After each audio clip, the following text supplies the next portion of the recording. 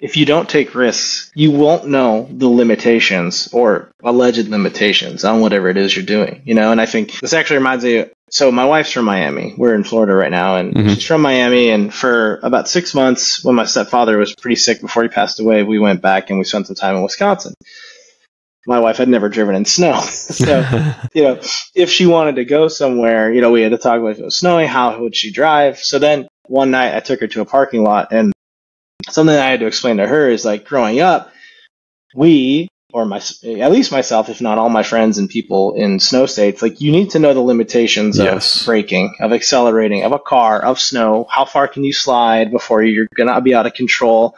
What to do with your hands on the wheel, you know? So you have to understand the limitations your own and the vehicle's limitations and how they react together or you're never going to be a good driver in those conditions you know and i think that it's the same thing here is like until you take the risk and try and find out you can control the environment for the most part but you need to have that forethought and figure out what that mm-hmm. looks like like an empty parking lot at night what does that look like in business you have to take those risks to find out you'll never know you won't and then you'll you may wake up in seven years like you said and figure out you've been doing it wrong the whole time because you yeah. never took the day or you know year long risk to figure it out yeah I love the uh, the snow analogy. I had to write that down. I just I grew up when I was learning to drive, I was in central New York, lots of snow. Oh, and yeah. you would go to those empty parking lots and you would go and like I would do everything from driving as fast as I could, slam on the brakes, let's see how they react, hit the e brake, let me see what it's like when I go sideways. Granted, a lot of that was a lot of fun too. So of course I was of trying to have yeah, fun. Yeah. Uh, uh-huh. But when it came down to actually driving, I learned so much more about how this vehicle moves, you know, by, by putting yourself through those through the wickets, you know.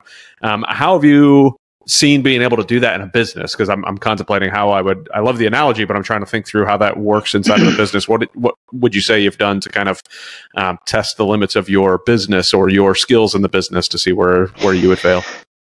Yeah I would say you know anywhere from taking a chance on you know an expensive employee because you believe in you know their capabilities even though they don't bring any money with them. Mm-hmm. um, that's something that we're exploring right now. Um, to maybe you know instead of uh, a retainer agreement with a client, you are doing like a partial retainer, but with some sort of licensing licensing agreement on the back end with some you know merch line that they're trying to come up with, so that you're committing to be able to operate that to make the money off off that. That's a big risk, especially you know for maybe an agency. Not to say that we're doing that now, but it is on the table for a marketing agency to take a risk on making money on the back end from merch, mm-hmm. that's a huge risk. Could be absolutely massive, or it could be a failure, and we have to reevaluate ever doing yeah. that again and losing much money, not only on the delta on the client, but also probably the money that you put into that program. So little things like that, I think. Um, I think taking a risk in this regard isn't always obvious. Sometimes mm-hmm. it's being creative. It's like, well, what if instead of this, we did this. Like for example, that. Okay, well, you can't afford the eighty five hundred dollar retainer. How about you pay four thousand a month and give us ninety nine percent licensing on, you know, these five properties to do whatever we want with it. So just even being able to come up with that concept, uh, you know, you have to be creative, but that's also a risk. So it's yeah. not always inherent. It's not always obvious.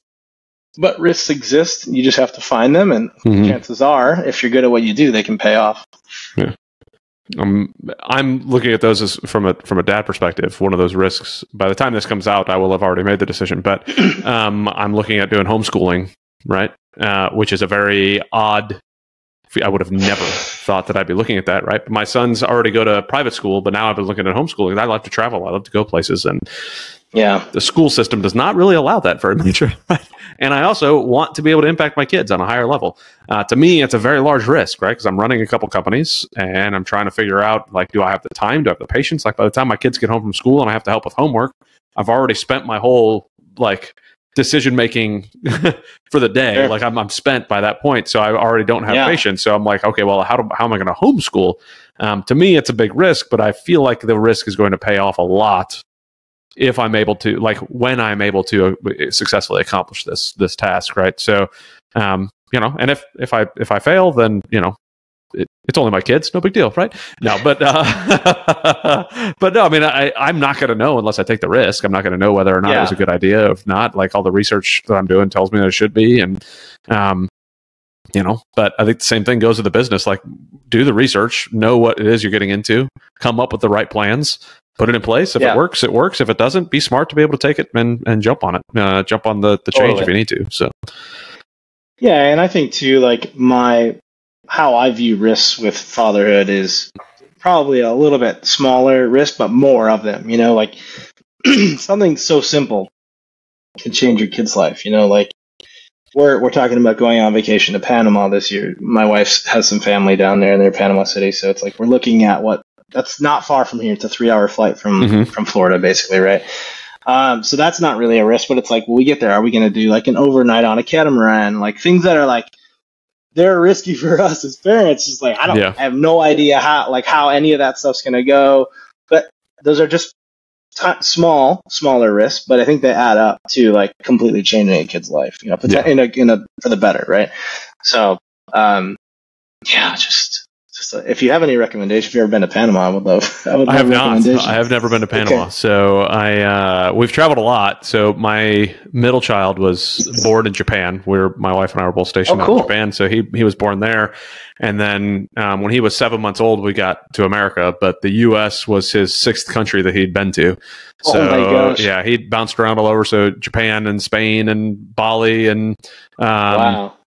Uh, Singapore and uh, Portugal.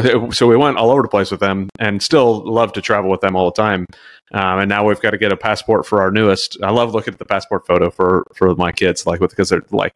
I literally like held them up like for a picture, trying to get like hold their face. So it's a little brand new baby trying to get passport photos. It's gonna be the same for this one. So. Oh man, But somebody cute. told me after my second one, tip for any of the fathers out there who need to get uh, passport photos for their babies is um, lay them down on a sheet, a white sheet, and take the picture from above. I was like, how did I not think of that nonsense? Like, I just went to a normal passport Right. photo place, and I'm like trying to hold up a two month old, a one month old to get the face to look into a kid. Like ridiculous, but yeah, much I did wiser see that on down. a, parenting hack somewhere. Yeah, Yeah. We, we're, we have to do that pretty soon, actually, for for this one. Yeah, if you're going to be going to Panama, you might want to do that. Yeah. So I've got my stack of passports here that I need to mail in and get them all redone. So um, we want to. My oldest wants. We asked him. We said, "Hey, do you want to do um, an adventure for your birthday, or do you want to, you know, get a couple presents?" And he's like, "Oh no, totally adventure." So he said he wants to go on a cruise. One of the cruises that has the water park on it is really all he cares about. He just wants to go on one of those cruises because he's seen it on something, and he's like, "I want to do it." So all right, well, let's let's go to a few more countries. Let's get it in. So. Um, And we could say that him wanting to do that as a result of a series of risks that you've taken Yeah. over the years, right? To get in there, that someone wants to have an adventure and experience over a couple material items. I think that's really amazing. Yeah, it's That's it's really cool. A lot of fun to be able. To, I think that you know, I, if I were to guess, the background that you come from, you're going to be very similar in doing a lot of that stuff. Like my, we bought a small dirt bike for him when for his fifth birthday. Um, that is now going to be passed to his little brother because he is. It's too big for him now, or he's too big for it now. It's the 50cc, and he's like, Yeah. his knees are touching his elbows at this point, you know. So, uh, so I'll be bumping him up to probably a 110 here shortly. But, um, but they, I mean, uh, crashing into trees. All right, you got to get up, got to try again, got to keep going, you know. And you press on, you keep it like so, you know, jumping off of, uh, jumping off the diving board, doing backflips on the trampoline, doing whatever, like going out and taking the risks and having fun and traveling. And, um, you know, now, you know, he, uh, my brother-in-law brought over um, a scuba tank. I don't remember even why he did it, but he brought it over, um, and we were playing with it in the pool. And my eight-year-old is just down there, just scuba diving away, just having a blast. my he's God, like, "This is amazing. awesome!" You know, so he's down there just sucking off the scuba tank, just having a great time. And I can't even get him into scuba That's class so until cool. he's twelve. I think is the the minimum. Um, Wow. So now he's going to be he's going to be a little pro by the time he's actually allowed That to go scuba awesome. diving. So, but yeah, th- I think cool. that the setting them up for those types of things is you know Totally. I, I mean, they've, they've got like it, that's part of life is that adventure. Like you're not living life if you're not having those types of adventures. So no, absolutely. Yeah, I that's will say kills that, me when that people are probably, like, "I don't like to travel with my kids." I'm like, "Are you kidding me right now? Yeah. Like you got to Yeah. travel with your kids." That is probably one. You know, if I have to give my my uh, my real father one credit, it would be. Although he was not around, the one thing I do remember it was. I don't remember what birthday it was. Maybe seven or eight or something. It was. Do you want to go into karate lessons? Because I was like, I wanted to be in karate. Or Mhm. do you want a dirt a dirt bike? And I'm like, that was it was actually a tough decision. That would be, time yeah. but I chose the dirt bike, you know, and I think that I mean, I could. My life could be different if I if I Yeah. chose karate and had the discipline, you know, that side of things, or I had a dirt bike where I was just shredding through the woods, crashing Mhm. every instance, learning from you know my failures and how to operate a clutch and all that stuff. You know, I think that really kind of helped define my extreme Oh, for sure. side, probably a little bit. I would yeah. imagine. So, yeah. Yeah. but the same for for our daughter. As soon as I can convince my wife, Oh yeah. Is she not uh, on that same board? not quite as extreme, I Yeah. would say. Yeah. I tell people like my wife shoots shoots guns and rides motorcycles. So if our daughter wants to be a princess, we're totally screwed. So um, I don't I don't know what we're gonna do. But hopefully, if she wants to be a princess, she'll be a dirt bike riding princess. So that'll Yeah, there you go. Yeah, I can only hope. But um, but yeah, it, to me, it's it's part of the adventure. You know, if if uh, but every child's gonna be different. So you know, it's if it if you know if one likes it and the other one doesn't, it is what it is.